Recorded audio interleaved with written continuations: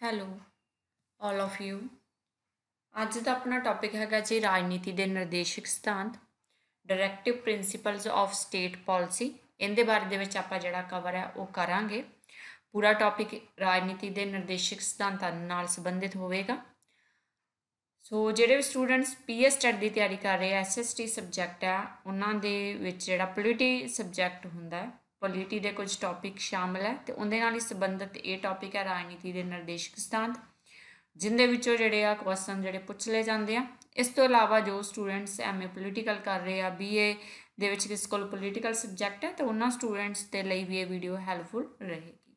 ਸੋ ਰਾਜਨੀਤੀ ਦੇ ਨਿਰਦੇਸ਼ਕ ਸਿਧਾਂਤ ਦੇ ਬਾਰੇ ਦੇ ਵਿੱਚ ਆਪਾਂ ਪੜਾਂਗੇ ਸੋ ਇਹ ਪਾਰਟ 4th ਦੇ ਵਿੱਚ 4th ਨਾਲ ਸੰਬੰਧਿਤ ਨੇ। ਸੋ ਜੇਕਰ ਆਪਾਂ ਕਨਸਟੀਟਿਊਸ਼ਨ ਦੀ ਗੱਲ ਕਰੀਏ, ਤਾਂ directive principle of state policy ਰਾਜਨੀਤੀ ਦੇ ਨਿਰਦੇਸ਼ਕ ਸਿਧਾਂਤ ਸ਼ਾਮਲ ਹੈ ਜੀ ਆਪਣੇ ਕਨਸਟੀਟਿਊਸ਼ਨ ਦੇ ਵਿੱਚ ਪਾਰਟ 4th ਦੇ ਵਿੱਚ। ਰਾਜਨੀਤੀ ਨਿਰਦੇਸ਼ਕ ਸਿਧਾਂਤ ਆਰਟੀਕਲ 36 ਤੋਂ ਲੈ ਕੇ 51 ਤੱਕ ਨੇ। ਸੋ 36 ਤੋਂ ਲੈ ਕੇ 51 ਤੱਕ ਜਿਹੜੇ ਆ, ਇਹ ਰਾਜਨੀਤੀ ਦੇ ਨਿਰਦੇਸ਼ਕ ਸਿਧਾਂਤ ਸ਼ਾਮਲ ਨੇ ਜਿਹਨੂੰ ਡੀਪੀਐਸ ਵੀ ਕਹਿ ਦਿੱਤਾ ਜਾਂਦਾ ਹੈ। ਡੀਪੀਐਸਪੀ ਵੀ ਜਿਹੜਾ ਕਹਿ ਦਿੱਤਾ ਜਾਂਦਾ ਹੈ। ਠੀਕ ਹੈ directive principle of state policy so ਸਭ ਤੋਂ ਪਹਿਲਾਂ ਤਾਂ ਇਹੀ ਪਤਾ ਹੋਣਾ ਚਾਹੀਦਾ ਕਿਹੜੇ ਆਰਟੀਕਲ ਹੈ ਤੇ ਕਿਹੜਾ ਪਾਰਟ ਹੈ। ਪਾਰਟ 4th ਹੈ ਆਰਟੀਕਲ 36 ਟੂ 51 ਸੋ ਨੈਕਸਟ ਆ ਜਾਓ ਜੀ ਰਾਜਨੀਤੀ ਦੇ ਨਿਰਦੇਸ਼ਕ ਸਿਧਾਂਤ ਐਸੀ ਆਇਰਲੈਂਡ ਤੋਂ ਕਾਪੀ ਕੀਤੇ ਹਨ ਸੋ ਰਾਜਨੀਤੀ ਨਿਰਦੇਸ਼ਕ ਸਿਧਾਂਤ ਕਿੱਥੋਂ ਕਾਪੀ ਕੀਤੇ ਆ ਸੋ ਰਾਜਨੀਤੀ ਦੇ ਨਿਰਦੇਸ਼ਕ ਸਿਧਾਂਤ ਜਿਹੜੇ ਅਸੀਂ ਕਾਪੀ ਕੀਤੇ ਆ ਜੀ ਅਸੀਂ ਆਇਰਲੈਂਡ ਤੋਂ ਜਿਹੜੇ ਕਾਪੀ ਆ ਉਹ ਕੀਤੇ ਨੇ ਠੀਕ ਆ ਆਇਰਲੈਂਡ ਤੋਂ ਕਾਪੀ ਕੀਤੇ ਹਨ ਸੋ ਰਾਜਨੀਤੀ ਦੇ ਨਿਰਦੇਸ਼ਕ ਸਿਧਾਂਤ ਨਿਆਂਯੋਗ ਨਹੀਂ ਹਨ ਸੋ ਇਹ ਵੀ ਤੁਹਾਨੂੰ ਪਤਾ ਹੋਣਾ ਚਾਹੀਦਾ ਕਿ ਤਾਂ ਕਿੱਥੋਂ ਲਏ ਨੇ ਇਹ ਬਹੁਤ ਵਾਰੀ ਕੁਐਸਚਨ ਪੁੱਛਿਆ ਜਾਂਦਾ ਹੈ ਰਾਜਨੀਤੀ ਦੇ ਨਿਰਦੇਸ਼ਕ ਸਿਧਾਂਤ ਅਸਲ ਦੇ ਵਿੱਚ ਕਾਪੀ ਕਿੱਥੋਂ ਕੀਤੇ ਗਏ ਨੇ? ਤਾਂ ਆਇਰਲੈਂਡ ਤੋਂ ਕਾਪੀ ਕੀਤੇ ਗਏ ਨੇ, ਤਾਂ ਇਸ ਚੀਜ਼ ਨੂੰ ਯਾਦ ਰੱਖਣਾ ਹੈ। ਸੋ ਰਾਜਨੀਤੀ ਦੇ ਨਿਰਦੇਸ਼ਕ ਸਿਧਾਂਤ ਜਿਹੜੇ ਆ, ਇਹ ਨਿਆਂਯੋਗ ਨਹੀਂ ਹਨ। ਠੀਕ ਹੈ, ਇਹਨਾਂ ਦੇ ਲਈ ਆਪਾਂ ਅਦਾਲਤਾਂ ਦੇ ਵਿੱਚ ਨਹੀਂ ਜਾ ਸਕਦੇ, ਜਿਵੇਂ ਕਿ ਆਪਾਂ ਫੰਡਾਮੈਂਟਲ ਰਾਈਟਸ ਦੇ ਲਈ ਜਾ ਸਕਦੇ ਹਾਂ ਕੋਰਟ ਦੇ ਵਿੱਚ ਜਾ ਸਕਦੇ ਹਾਂ, ਠੀਕ ਹੈ? ਅਦਾਲਤਾਂ ਦੇ ਵਿੱਚ ਜਾ ਸਕਦੇ ਹਾਂ ਬਟ ਰਾਜਨੀਤੀ ਨਿਰਦੇਸ਼ਕ ਸਿਧਾਂਤਾਂ ਲਈ ਆਪਾਂ ਨਹੀਂ ਜਾ ਸਕਦੇ। ਸੋ ਨੈਕਸਟ ਆਰਟੀਕਲਸ ਦੀ ਗੱਲ ਕਰਾਂਗੇ। ਆਰਟੀਕਲ 36 ਤੋਂ ਲੈ ਕੇ 51 ਤੱਕ ਦੀ ਆਪਾਂ ਗੱਲ ਕਰਾਂਗੇ। ਫਰਸਟ ਹੈ ਜੀ ਆਰਟੀਕਲ 36 ਕੀ ਹੈ? ਸੋ ਡੀਪੀਐਸਪੀ ਨੂੰ ਡਿਫਾਈਨ ਕੀਤਾ ਗਿਆ ਹੈ। ਡਿਫਾਈਨ ਦਾ ਸਟੇਟ ਰਾਜ ਕਿਵੇਂ ਡੀਪੀਐਸਪੀ ਨੂੰ ਲਾਗੂ ਕਰੇਗਾ ਪੂਰੀ ਪਰਿਭਾਸ਼ਾ ਆਰਟੀਕਲ 36 ਦੇ ਵਿੱਚ ਇੱਕ ਡੈਫੀਨੇਸ਼ਨ ਜਾਰੀ ਕੀਤੀ ਗਈ ਹੈ। Directive principles of state policy ਦੀ ਜਿਹੜੀ ਹੈ ਡੈਫੀਨੇਸ਼ਨ ਜਿਹੜੀ ਜਾਰੀ ਉਹ ਕੀਤੀ ਗਈ ਹੈ ਕਿ ਕਿਵੇਂ ਇਹਨੂੰ ਜਿਹੜਾ ਇਹਦੀ ਪਰਿਭਾਸ਼ਾ ਜਾਰੀ ਕੀਤੀ ਗਈ ਹੈ, ਠੀਕ ਹੈ ਜੀ? ਕਿ ਕੀ ਇਹਦੀ ਪਰਿਭਾਸ਼ਾ ਨੂੰ ਡਿਫਾਈਨ ਕੀਤਾ ਗਿਆ ਵਾ?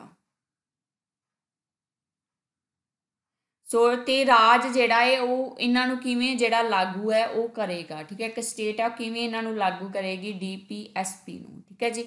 ਉਹ ਸਾਰੀ ਚੀਜ਼ ਨੂੰ ਜਿਹੜਾ ਡਿਫਾਈਨ ਹੈ, ਉਹ ਕੀਤਾ ਗਿਆ ਕਿ ਅਸਲ ਦੇ ਵਿੱਚ ਕੀ ਹੈ ਤੇ ਰਾਜ ਉਹਨਾਂ ਨੂੰ ਕਿਵੇਂ ਜਿਹੜਾ ਲਾਗੂ ਹੈ, ਉਹ ਕਰੇਗਾ। ਅੱਗੋ ਹੈਗਾ ਜੀ ਆਰਟੀਕਲ 37 ਡੀਪੀਐਸਪੀ ਸਟਰਕਚਰ ਨਿਆਂਯੋਗ ਨਹੀਂ ਹੈ ਜੋ ਆਪਾਂ ਹੁਣੇ ਗੱਲ ਕਰਕੇ ਹਟੇ ਆ ਕਿ ਇਹ ਨਿਆਂਯੋਗ ਨਹੀਂ ਹੈ, ਨਾ ਅਦਾਲਤਾਂ ਦੇ ਵਿੱਚ ਆਪਾਂ ਨਹੀਂ ਜਾ ਸਕਦੇ। ਤਾਂ ਆਰਟੀਕਲ 37 ਦੇ ਅਕੋਰਡਿੰਗ ਹੈ ਕਿ ਡੀਪੀਐਸਪੀ ਜਿਹੜਾ ਸਟਰਕਚਰ ਹੈ, ਇਹ ਨਿਆਂਯੋਗ ਨਹੀਂ ਹੈ। ਸੋ ਆਰਟੀਕਲ 38 ਦੀ ਗੱਲ ਕਰੀਏ। ਸੋ ਆਰਟੀਕਲ 38 ਕੀ ਕਹਿੰਦਾ ਸਰਕਾਰ ਲੋਕਾਂ ਨੂੰ ਸਮਾਜਿਕ, ਆਰਥਿਕ ਅਤੇ ਰਾਜਨੀਤਿਕ ਨਿਆਂ ਦੇਵੇਗੀ। ਸੋ ਆਰਟੀਕਲ 38 ਕੀ ਕਹਿ ਰਿਹਾ ਸਰਕਾਰ ਹੈ ਜਿਹੜੀ ਉਹ ਲੋਕਾਂ ਨੂੰ ਜਿਹੜੀ ਹੈ ਸਮਾਜਿਕ ਨਿਆਂ ਵੀ ਦੇਵੇਗੀ, ਆਰਥਿਕ ਨਿਆਂ ਵੀ ਦੇਵੇਗੀ ਤੇ ਰਾਜਨੀਤਿਕ ਨਿਆਂ ਦੇਵੇਗੀ। ਸੋ ਆਰਟੀਕਲ 38 ਕੀ ਕਹਿ ਰਿਹਾ? ਆਰਟੀਕਲ 38 ਸਰਕਾਰ ਲੋਕਾਂ ਨੂੰ ਸਮਾਜਿਕ, ਆਰਥਿਕ ਤੇ ਰਾਜਨੀਤਿਕ ਮਤਲਬ ਤਿੰਨੋਂ ਪ੍ਰਕਾਰ ਦੇ ਜਿਹੜੇ ਨਿਆਂ ਹੈ, ਉਹ ਗਵਰਨਮੈਂਟ ਹੈ ਜਿਹੜੀ ਸਰਕਾਰ ਹੈ, ਉਹ ਲੋਕਾਂ ਨੂੰ ਦੇਵੇਗੀ, ਸਮਾਜਿਕ, ਆਰਥਿਕ ਤੇ ਰਾਜਨੀਤਿਕ। ਆਰਟੀਕਲ 39 ਔਰਤ ਅਤੇ ਮਰਦ ਨੂੰ ਇੱਕੋ ਜਿਹਾ ਕੰਮ ਕਰਨ ਤੇ ਇੱਕੋ ਜਿਹੀ ਤਨਖਾਹ ਮਿਲਣੀ ਚਾਹੀਦੀ ਸੋ ਆਰਟੀਕਲ 39 ਕੀ ਕਹਿੰਦਾ? ਫੀਮੇਲ ਹੈ, ਭਾਵੇਂ ਉਹ ਮੇਲ ਹੈ। ਉਹਨਾਂ ਨੂੰ ਇਕੁਅਲ ਵਰਕ ਕਰਨ ਦੇ ਇਕੁਅਲ ਉਹਨਾਂ ਨੂੰ ਸੈਲਰੀ ਹੈ ਜਿਹੜੀ ਉਹ ਦਿੱਤੀ ਜਾਵੇਗੀ। ਔਰਤ ਅਤੇ ਮਰਦ ਨੂੰ ਇੱਕੋ ਜਿਹਾ ਕੰਮ ਕਰਨ ਦੀ ਇੱਕੋ ਜਿਹੀ ਜਿਹੜੀ ਤਨਖਾਹ ਹੈ, ਉਹ ਮਿਲੇਗੀ ਆਰਟੀਕਲ 39 ਨੈਕਸਟ ਆ ਗਿਆ ਜੀ ਆਰਟੀਕਲ 39 ਏ ਆਰਟੀਕਲ 39 ਏ ਕੀ ਕਹਿੰਦਾ ਸਾਰੇ ਵਿਅਕਤੀਆਂ ਨੂੰ ਇੱਕੋ ਜਿਹਾ ਨਿਆਂ ਤੇ ਸਭ ਨੂੰ ਜਿਹੜੀ ਕਾਨੂੰਨੀ ਸਹਾਇਤਾ ਹੈ, ਉਹ ਦਿੱਤੀ ਜਾਵੇਗੀ। ਸੋ ਆਰਟੀਕਲ 39 ਏ ਕੀ ਕਹਿ ਰਿਹਾ?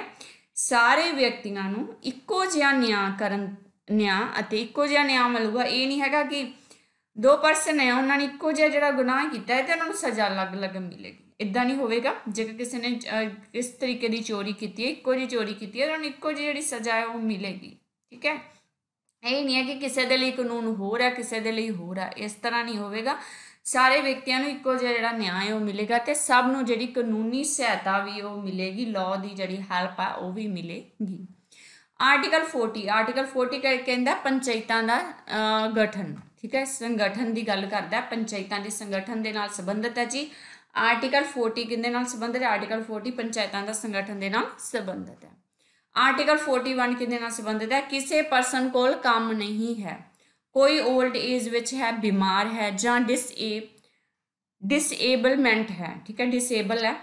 ਤਾਂ ਜੇ ਲੋਕਾਂ ਨੂੰ ਕੰਮ ਦਾ ਪ੍ਰਬੰਧ ਕਰਕੇ ਦੇਣਾ ਤੇ ਰਾਈਟ ਟੂ ਐਜੂਕੇਸ਼ਨ ਦੇਣਾ ਸਰਕਾਰ ਦਾ ਫਰਜ਼ ਹੈ। ਠੀਕ ਹੈ, ਕਿਸੇ ਪਰ ਕੋਲ ਕੰਮ ਨਹੀਂ ਹੈਗਾ, ਠੀਕ ਹੈ 올ਡ ਏਜ ਦੇ ਵਿੱਚ ਹੈ ਬਿਮਾਰ ਹੈ, ਠੀਕ ਹੈ, ਤਾਂ ਕੰਮ ਦਾ ਜਿਹੜਾ ਪ੍ਰਬੰਧ ਹੈ ਉਹ ਕਰਕੇ ਦੇਣਾ। ਠੀਕ ਹੈ, ਤੇ ਰਾਈਟ ਟੂ ਐਜੂਕੇਸ਼ਨ ਦੇਣਾ ਸਰਕਾਰ ਦਾ ਫਰਜ਼ ਹੈ।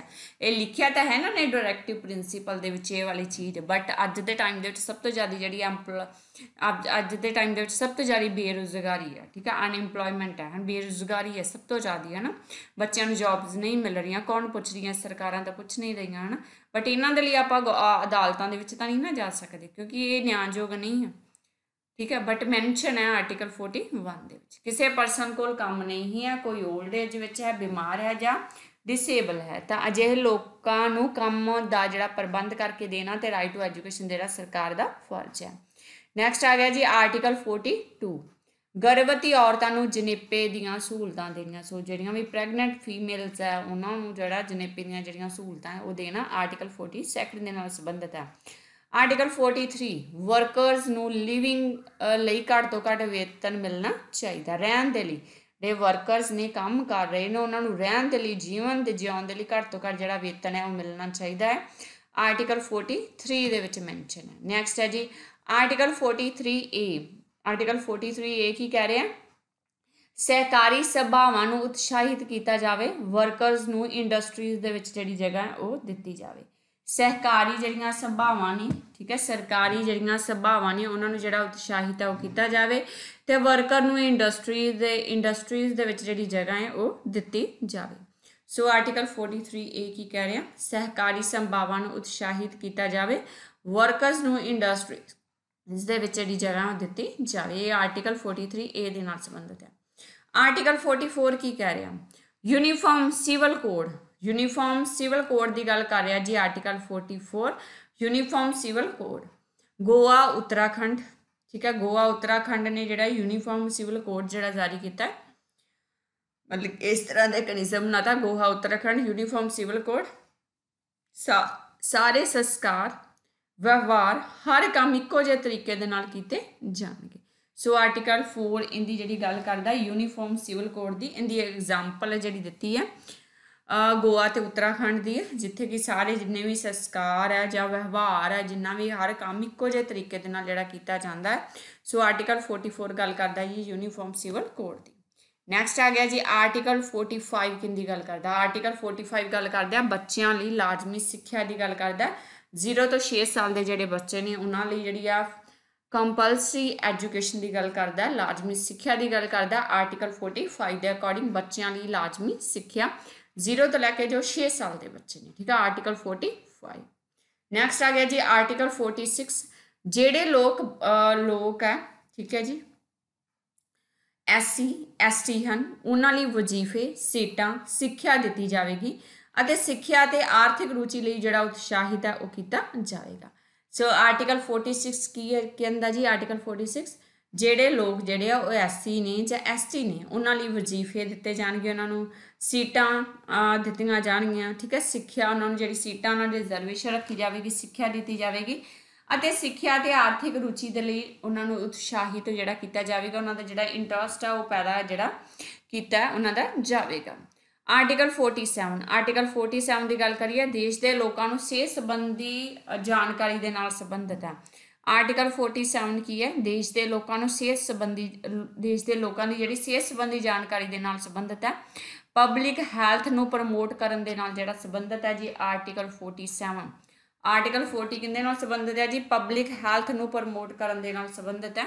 ਦੇਸ਼ ਦੇ ਲੋਕਾਂ ਨੂੰ ਸਿਹਤ ਸੰਬੰਧੀ ਜਿਹੜੀ ਜਾਣਕਾਰੀ ਹੈ, ਸਿਹਤ ਸੰਬੰਧੀ ਜਾਣਕਾਰੀ ਦੇਣ ਦੇ ਨਾਲ ਇਹ ਸੰਬੰਧਿਤ ਹੈ ਆਰਟੀਕਲ 47 ਪਬਲਿਕ ਹੈਲਥ ਨੂੰ ਪ੍ਰਮੋਟ ਕਰਨ ਦੇ ਨਾਲ ਸੰਬੰਧਿਤ ਹੈ। ਠੀਕ ਹੈ ਜੀ ਪਬਲਿਕ ਹੈਲਥ ਨੂੰ ਪ੍ਰਮੋਟ ਕਰਨ ਦੇ ਨਾਲ ਸੰਬੰਧਿਤ ਹੈ।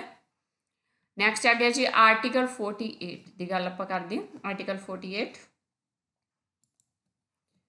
ਸੋ ਆਰਟੀਕਲ 48 ਦੀ ਗੱਲ ਕਰੀਏ, ਜਾਨਵਰ ਹੱਤਿਆ ਤੇ ਗਊ ਹੱਤਿਆ ਤੇ ਜਿਹੜੀ ਰੋਕ ਹੈ ਉਹ ਲਗਾਈ ਗਈ ਆ ਆਰਟੀਕਲ 48 ਦੇ ਅਕੋਰਡਿੰਗ ਆਰਟੀਕਲ 48 ਦੇ ਅਕੋਰਡਿੰਗ ਜਾਨਵਰ ਹੱਤਿਆ ਤੇ ਗਊ ਹੱਤਿਆ ਤੇ ਜਿਹੜੀ ਰੋਕ ਹੈ ਉਹ ਲਗਾਈ ਗਈ ਹੈ ਆਰਟੀਕਲ 48 ਨੈਕਸਟ ਆ ਗਿਆ ਜੀ ਆਰਟੀਕਲ 48A ਆਰਟੀਕਲ 48A ਕੀ ਕਹਿ ਰਿਹਾ?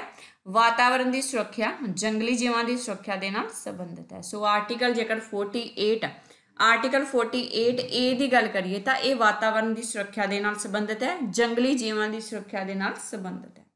ਸੋ ਵਾਤਾਵਰਣ ਦੀ ਸੁਰੱਖਿਆ ਦੇ ਨਾਲ ਸੰਬੰਧਿਤ ਹੈ ਜੀ ਆਰਟੀਕਲ 48A ਤੇ ਜੰਗਲੀ ਜੀਵਾਂ ਦੀ ਸੁਰੱਖਿਆ ਦੇ ਨਾਲ ਇਹ ਸੰਬੰਧਿਤ ਹੈ ਜੀ ਆਰਟੀਕਲ 48A ਆਰਟੀਕਲ 49 ਕਿੰਨੇ ਨਾਲ ਸੰਬੰਧਿਤ ਹੈ ਜੀ? ਇਤਿਹਾਸਿਕ ਇਮਾਰਤਾਂ ਦੀ ਸੁਰੱਖਿਆ ਕਰਨਾ, ਇਤਿਹਾਸਿਕ ਇਤਿਹਾਸਿਕ ਇਮਾਰਤਾਂ ਦੀ ਸੁਰੱਖਿਆ ਕਰਨ ਦੇ ਨਾਲ ਸੰਬੰਧਿਤ ਹੈ। ਇਤਿਹਾਸਿਕ ਆਰਟੀਕਲ 49 ਆਰਟੀਕਲ 49 ਦੀ ਆਪਾਂ ਗੱਲ ਕਰੀਏ ਤਾਂ ਇਤਿਹਾਸਿਕ ਇਮਾਰਤਾਂ ਦੀ ਜਿਹੜੀ ਸੁਰੱਖਿਆ ਦੇ ਨਾਲ ਸੰਬੰਧਿਤ ਹੈ, ਜਿੰਨੀਆਂ ਵੀ ਹਿਸਟੋਰੀ ਹਿਸਟੋਰੀਕਲ ਜਿਹੜੀਆਂ ਬਿਲਡਿੰਗਸ ਬਣੀਆਂ ਨੇ, ਹਨਾ, ਉਹਨਾਂ ਦੀ ਜਿਹੜੀ ਉਹਨਾਂ ਨੂੰ ਪ੍ਰੋਟੈਕਟ ਕਰਨ ਦੇ ਨਾਲ ਜਿਹੜਾ ਸੰਬੰਧਿਤ ਹੈ ਜੀ। ਨੈਕਸਟ ਆ ਗਿਆ ਆਰਟੀਕਲ 50 ਆਪਣੀ ਜੋ ਜੁਡੀਸ਼ਰੀ ਹੈ, ਜੋ ਐਗਜ਼ੀਕਿਊਟਿਵ ਹੈ ਠੀਕ ਹੈ? ਇਹ ਦੋਨੋਂ ਵੱਖਰੇ ਨੇ। ਠੀਕ ਹੈ? ਆਰਟੀਕਲ 50 ਕੀ? ਨਿਆਂਪਾਲਿਕਾ ਤੇ ਕਾਰਜਪਾਲਿਕਾ ਦਾ ਵੱਖਰਾ ਹੋਣਾ। ਠੀਕ ਹੈ? ਉਹ ਮੈਂਸ਼ਨ ਕੀਤਾ ਗਿਆ ਕਿ ਨਿਆਂਪਾਲਿਕਾ ਅਲੱਗ ਹੈ, ਕਾਰਜਪਾਲਿਕਾ ਅਲੱਗ ਹੈ। ਠੀਕ ਹੈ? ਇਹਨਾਂ ਦੇ ਅਲੱਗ-ਅਲੱਗ, ਇਹਨਾਂ ਦੇ ਕੋਲ ਜਿਹੜੇ ਆਪਣੇ ਆਪਣੇ ਜਿਹੜੇ ਰਾਈਟਸ ਆਪਣੇ ਆਪਣੇ ਕੰਮ ਹੈ। ਆਰਟੀਕਲ 50 ਦੇ ਵਿੱਚ ਮੈਂਸ਼ਨ ਹੈ। ਨਿਆਂਪਾਲਿਕਾ ਤੇ ਕਾਰਜਪਾਲਿਕਾ ਦਾ ਵੱਖਰਾ ਹੋਣਾ ਮੈਂਸ਼ਨ ਕੀਤਾ ਗਿਆ। ਆਰਟੀਕਲ 51 ਅੰਤਰਰਾਸ਼ਟਰੀ ਸ਼ਾਂਤੀ ਅਤੇ ਸੁਰੱਖਿਆ ਦੇ ਨਾਲ ਸੰਬੰਧਿਤ ਹੈ। ਆਰਟੀਕਲ 51 ਕਿਹਦੇ ਨਾਲ ਸੰਬੰਧਿਤ ਹੈ ਜੀ? ਅੰਤਰਰਾਸ਼ਟਰੀ ਸ਼ਾਂਤੀ ਅਤੇ ਸੁਰੱਖਿਆ ਦੇ ਨਾਲ ਸੰਬੰਧਿਤ ਹੈ। ਇੰਟਰਨੈਸ਼ਨਲ ਜਿਹੜੀ ਪੀਸ ਦੇ ਨਾਲ ਸੰਬੰਧਿਤ ਹੈ। ਠੀਕ ਹੈ ਆਰਟੀਕਲ 51 ਸੋ ਇਹ ਹੈਗਾ ਜੀ ਆਪਣਾ ਜਿਹੜਾ ਟੌਪਿਕ ਹੈ ਜੀ, ਰਾਜਨੀਤੀ ਦੇ ਨਿਰਦੇਸ਼ਕ ਸਿਧਾਂਤ। ਸੋ ਰਾਜਨੀਤੀ ਦੇ ਨਿਰਦੇਸ਼ਕ ਸਿਧਾਂਤ ਆ ਜੋ ਆਪਾਂ ਜਿਹੜੇ ਪੜ੍ਹੇ ਆ। ਸੋ ਬਹੁਤ ਹੀ ਸੌਖਾ ਜਿਹਾ ਟੌਪਿਕ ਹੈ ਬਸ ਆਰਟੀਕਲ ਜਿਹੜੇ ਉਹਨਾਂ ਨੂੰ ਜ਼ਰੂਰ ਯਾਦ ਰੱਖ ਲਓ। ਕਿਉਂਕਿ ਕੁਐਸਚਨ ਪੁੱਛ ਲਏ ਜਾਂਦੇ ਆ ਤੇ ਸਭ ਤੋਂ ਜ਼ਿਆਦਾ ਤਾਂ ਪਹਿਲਾਂ ਤਾਂ ਇਹੀ ਯਾਦ ਰੱਖੋ ਕਿ ਪਾਰਟ 4th ਦੇ ਵਿੱਚ ਹੈ 36 ਤੋਂ ਲੈ ਕੇ 51 ਦੇ ਨਾਲ ਰਿਲੇਟਡ ਨੇ। ਸੋ ਇਹ ਸੀ ਟੌਪਿਕ ਜੀ ਆਪਣਾ ਕੰਪਲੀਟ ਹੋ ਗਿਆ। ਵੀਡੀਓ ਤੁਹਾਨੂੰ ਵਧੀਆ ਲੱਗੀ ਵੀਡੀਓ ਨੂੰ ਲਾਈਕ ਕਰ ਦਿਓ। ਆਪਣੇ ਫਰੈਂਡਸ ਦੇ ਨਾਲ WhatsApp ਗਰੁੱਪ ਦੇ ਵਿੱਚ ਜ਼ਰੂਰ ਸ਼ੇਅਰ ਕਰ ਦਿਓ। ਤੇ ਜੇਕਰ ਚੈਨਲ ਤੇ ਨਵੇਂ ਆਏ ਹੋ ਤੇ ਚੈਨਲ ਨੂੰ ਸਬਸਕ੍ਰਾਈਬ ਕਰ ਦਿਓ। ਤੇ ਨਾਲ ਦੀ ਨਾਲ ਬੈਲ ਆਈਕਨ ਦਾ ਬਟਨ ਜ਼ਰੂਰ ਪ੍ਰੈਸ ਕਰ ਦਿਓ, ਤਾਂ ਜੋ ਜਦੋਂ ਵੀ ਮੈਂ ਨਵੀਆਂ ਵੀਡੀਓਜ਼ ਅਪਲੋਡ ਕਰਾਂ ਤਾਂ ਉਹਨਾਂ ਦੇ ਨੋਟੀਫਿਕੇਸ਼ਨ ਤੁਹਾਡੇ ਤੱਕ ਪਹੁੰਚ ਸਕਣ। Thanks for watching